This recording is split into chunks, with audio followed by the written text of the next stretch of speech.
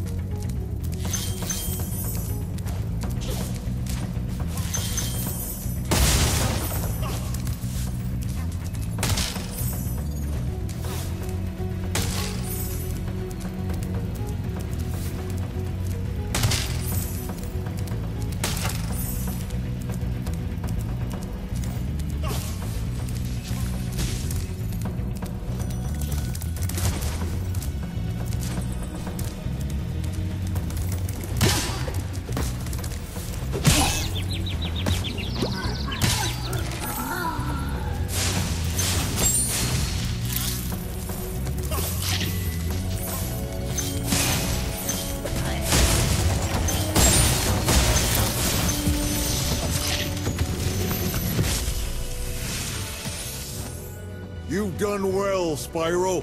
Some dragons thought you weren't ready, but I knew they were wrong. I'm ready, all right. Uh, ready for what?